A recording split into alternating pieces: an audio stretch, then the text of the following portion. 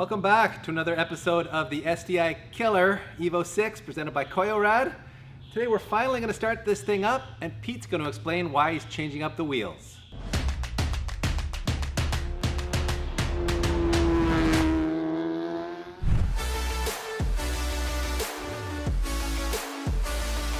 All right, everybody. First of all, let me say it's good to be back and standing next to the Evo with Peter a safe six feet away from me and be resuming our, uh, our teamwork on this car. Even though it's Peter's car and he's going to try to beat the STI, I'm still excited to see it again because that motor, well, I mean, we both put a lot of love and effort into it and it's we're a team. time. We're a team at the shop, We are. and we're frenemies We're on the racetrack. Adversaries at the racetrack. That's right. Let's go with that theory. In any case, I'm excited to get this thing ready to start up, and that means priming it. Really, what we should have done is primed the oil pump during engine assembly, but because we didn't disassemble the oil pump and therefore have access to it internally to prime it, we are going to prime it, prime it now using uh, what you might call a bit of a ghetto technique. This tip comes to us from an anonymous source located in New Zealand, whose initials may or may not have an A and an S in them. In any case, we are going to force some air down through the dipstick tube into the sump, and that apparently will help force air into the oil pump. There's a few other steps we have to do before we do that, but we're going to show you that whole procedure. And then we're going to cross our fingers and hope that that does prime the pump well enough that it has oil pressure on startup. I guess the other option we might have available to us is to go to Enviado and borrow their like really highfalutin oil pressurization system that we used on the STI motor. But I, frankly, I think I'm kind of curious to test out this uh, this more uh, accessible, dare I say, ghetto way of doing it. So I think we're going to try that first. And then we have a bunch of setup work to do with the link. It's just frankly above our pay grade. Neither of us are really ECU experts here. So we are going to have Jason from Link ECU join us again. He joined us on the M3 and he's going to join us again here to get everything configured and to allow us to read oil pressure before we actually start, try to start this because we really want to be able to see if we're getting good oil pressure or not. So for a break-in oil, we are going with Valvoline's conventional 5W30. This is just a, it's a classique, as it says on the bottle. It's not a synthetic. This is their like, you know, most affordable basic oil. And as I'm sure you guys know, typically you do not want to break in a brand new engine on a synthetic. You want to break it in on a mineral-based oil like this, or a actual break-in oil. There are some like fancy break-in oils out there, but Andre at HP Academy said, don't sweat it, just use some basic mineral oil, break it in on that, and uh, switch out to synthetic after about uh, 500 kilometers of uh, break-in usage. So we'll uh, we'll do an initial flush with this stuff, and then we'll probably do a drain before we go to the dyno, just to get any you know little bits out of the, the engine build and out of the whole you know the whole system, and then we'll probably tune on the dyno on this stuff, and then go to a synthetic after that. So should also mention that this has their easy pour bottle, even though it's the affordable stuff. So even I can pour it left-handed. Wow. Look at that, everybody. Not going to put a lot in because we've already put five liters in. And this takes, I think, 5.1. We've upgraded the oil cooler, so maybe five and a half liters. I think we're, eh, I'll give it another splash, but I think we're pretty close. And then we can move on to priming this thing. Actually, before we move on to pressurizing the oil system, I realized, or actually Pete realized, we need to put the rest of the fluids in this thing first. So we're going to start by filling it up with some coolant. For that, we are using this Zerex by Valvoline. This is their Asian vehicle blend. And of course, we are using this funnel that uh, creates a high point in the coolant system. So all the air should want to rise to that, air, that, to that high point and burp out here. So we'll put a link in the description to this funnel, which I think Pete got on Amazon. So we just had a quick phone call with Jason from Link ECU, and uh, he's gone through the software with us to uh, configure some of the sensors and just make sure everything is ready for uh, our initial our startup, basically.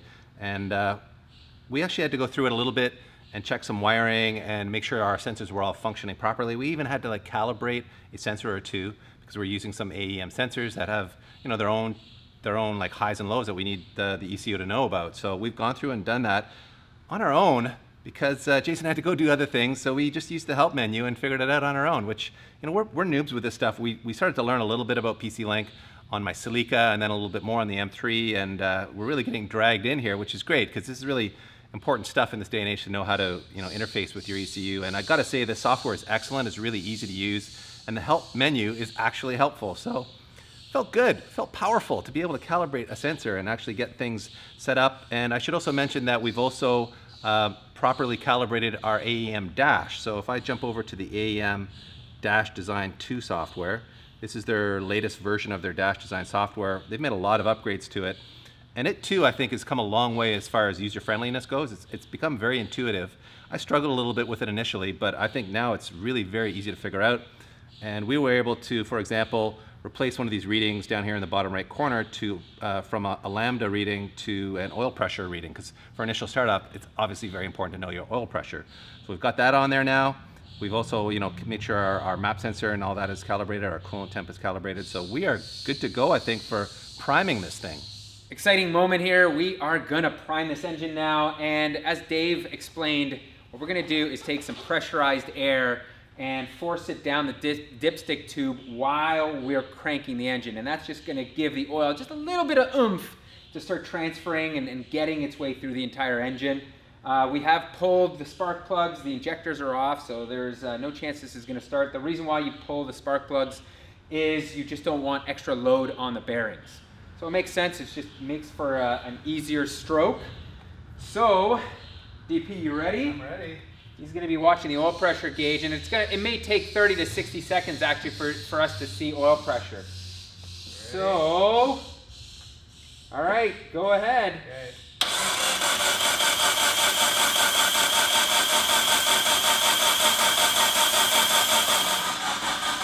You watch the red number here, that's our oil pressure slowly climbing.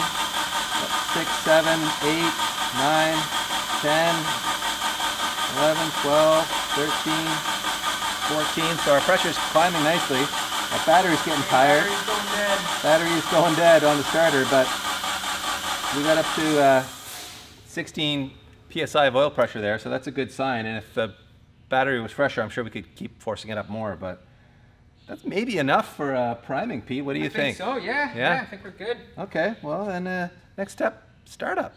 Well, Peter, got goosebumps all of a sudden because it's time to fire this thing up. And, oh, uh, man. It's a little nerve wracking. I mean, the motor sounded good when we were cranking it for priming. So, the plan here, by the way, after having watched HP Academy's uh, initial startup video, the plan is to run it for 30 to 60 seconds to make sure we've got good oil pressure, to check for leaks, and to make sure it's not making any weird noises and everything's good, then we'll shut it off after that 30 to 60 seconds of initial startup and then we'll go into a proper like break-in cycle for the engine. So we're not bringing this up to temperature or anything. This is just a check. Will it fire? Will it leak? Will it have oil pressure? And will it knock or make any crazy metallic noises? No, no to any of those. Hopefully we're good on except all that. Except oil pressure. And then we can talk more about the break-in process. All right. All right. You ready? Okay, I'm, I'm nervous. Let's do this. Here we go.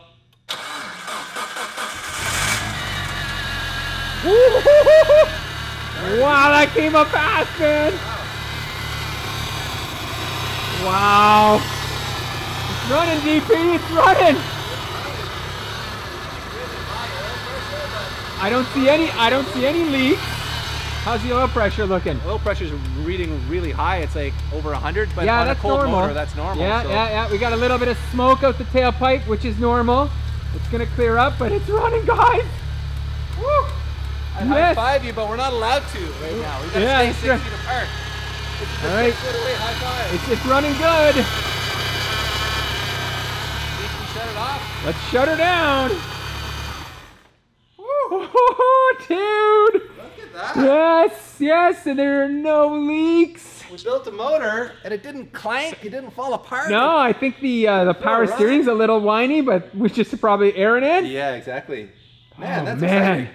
That is really Did exciting. See, that thing just fired One right up. Whoa. I think our priming actually primed it to start. So wow, things are going well here, everybody. Let's uh, let's move on. Yeah, and you know, a big thanks to Jason at oh, yeah, Link. Holy smokes, he just helped us dial in everything like the injectors and all that stuff. Gave us a crash course on that Link yeah, software. Yeah, and big thanks to HP Academy too. I mean, what a uh, value it is to have their guidance through this whole process. So we'll put that discount code in the description again, where you can go get $75 off of any of their courses, including this engine building course, which includes a module on startup and one on break-in too.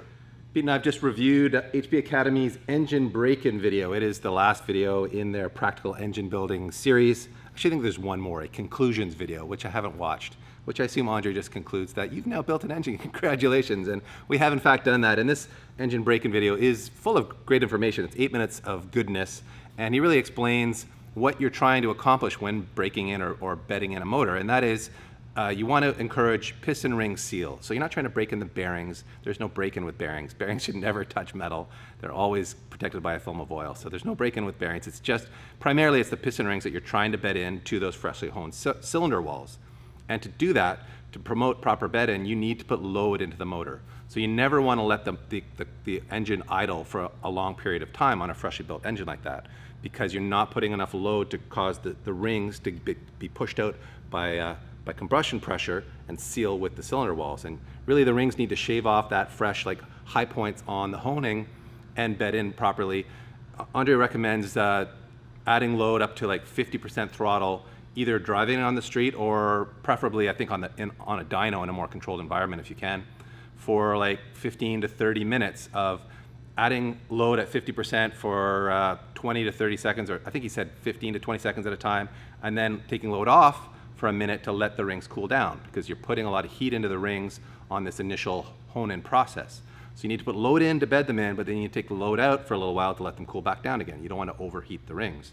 So you, you go through that process, you start to add a little bit more load later in the bed and process, and once you've done it for 20 or 30 minutes, you should really have a properly broken in engine or bedded in ring set. So at that point you can move on to changing the oil, changing the oil filter, and then tuning the engine and, and really treating it like you would any other engine in your, uh, your collection of cars where you can really start to, to, to run it hard. So that's the process we're going to follow. Uh, and I think before we do any of that though, we're going to show you what Pete has done with the wheels and tires.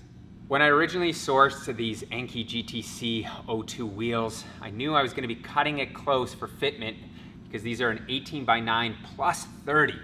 18s already on an Evo for track use are a bit of a stretch. Going to a 255 is also a very, very aggressive fitment. And sadly, after looking at the rear of this car and seeing just how close these were to the rear arch and the amount of effort it would take, I would have to like cut that whole rear arch out to make these fit. I have decided to do the thing that uh, most Evo owners would do, and that is go with a 17 inch wheel. So I present to you the newest wheel, and this is a Enkei PF05 17 by 9 plus 40 offset. So this is going to give me the clearance in the rear, and I've also stepped down on the tire. So this now is a 245 40 17 tire, and I was contemplating, you know, I, I could probably fit that 255, but then I thought, why risk it? At this point, it's already tight in the back. I don't really want to mess with it. I think this is the right way to go so that you're not going to suffer any type of rubbing and we're just going to play it safe. And really, I do love the profile of this five spoke. It kind of has that uh, WRC era Tommi Mäkinen five spoke vibe going with it. It's got plenty of concave too, which I really like.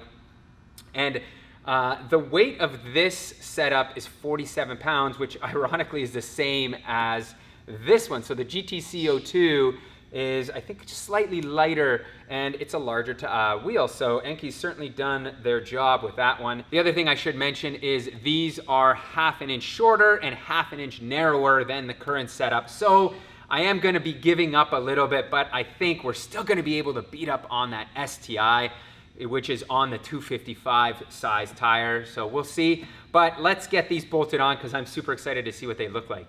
The one downside going with a plus 40 offset wheel is we've got huge Brembos to clear and sadly, the PF05s do not clear without a spacer.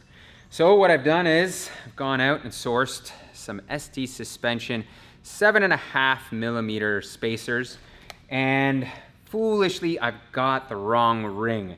So I don't know, my mind's been kind of foggy lately, which uh, doesn't excuse it, but I ordered the wrong ring. So usually I'm gonna, I'm gonna have to I'm gonna have to reorder the right one, but that will fill this gap. So this will fit perfectly centered, and that's the beauty of these ST suspension wheel spacers is that they do have this system that you can pop this inner clip, uh, this inner ring out, and fit it to your needs. So let's see with this in here now. Let's throw this wheel on and show you what it looks like for clearance. I think we could get away with a five mil, but you know what? Uh, up front, there was no problems clearing with the plus or plus 30 on these fenders, which I, am pretty sure have had a little bit of a roll done on them. So I figured why not go with a seven and a half just to be safe. Here we go. As you can see, we have a good amount of clearance. Oh, lots of lots of good clearance there, so we're good to go. By the way, I gotta thank Turn 14. They were the only place that had these in stock. Even Enkei didn't have them. So thank you, Turn 14, for getting me these so quickly. I was kind of in a scramble when I figured out that the rear wasn't gonna fit in terms of what wheel to get and where to get it. And they had these in stock ready to go with, of course, great pricing and quick service. So, all right, let's move on to the back. I'll show you what we've got going on back there. Wow, I was not expecting this. We actually have way more clearance than I originally thought. Like this tire will go in there, will, will tuck in without any issue and this is this hasn't even been shaved uh, much at all. So I could probably shave this back even more if I wanted to. However, like I said, on the 18s, we were just out far enough where it would it would have had to I would have had to like start cutting into here and like taking out a little bit of the back portion of the bumper. So it just wasn't feasible in that sense. I do think we're gonna try to put that seven and a half mil spacer on here to see if we can bring this out a bit because it does feel a little sunken here. Seven and a half mil spacer is in and we still have good amount of clearance here. I think it's just the combination of the tire being shorter and narrower, this whole setup, that allows us to fit. Now I kind of understand why so many Evo owners run a 17 by 9 and kind of shy away from the 18s for, you know, aggressive track use. So I think the next step here is to bolt all four corners on and let's have a look at this. But before I do that, some of you were wondering what lug nuts I'm using. And these are the Project Kics Leggdura closed-ended lug nuts. And I really like them. They, they kind of have that somewhat OEM look to them with a nice black finish. So let's get these bolted on and let's do the reveal here.